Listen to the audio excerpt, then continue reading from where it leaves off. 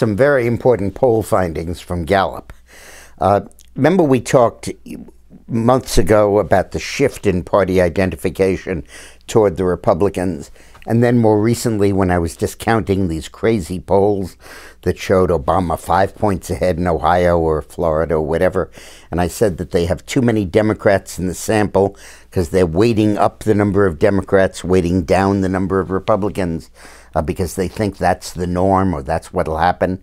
Well, Gallup has a poll out that is very significant.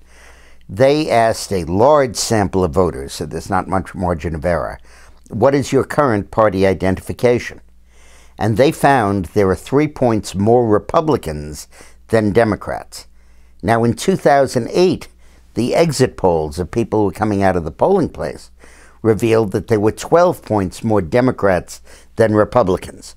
So it's gone from 12 Democrat ahead to three Republican ahead, a 15 point swing. Uh, that is terribly important. It's like the tectonic plates moving under our feet. And it's one of the reasons why Gallup is showing Romney winning by a decent margin, uh, four, five, or six points.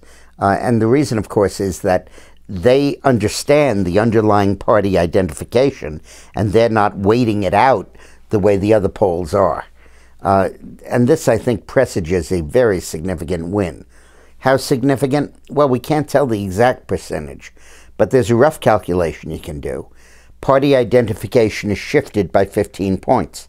Obama won by 7. That means Romney might win by 8, because that's the 15 point swing.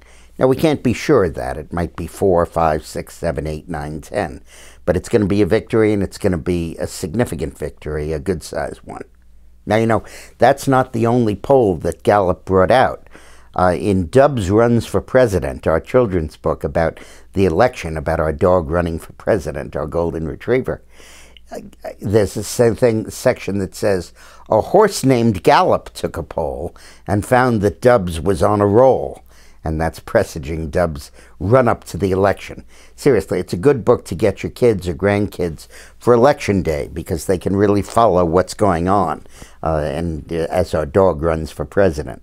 You can get it at dickmorris.com or Barnes & Nobles or Amazon or in any bookstore.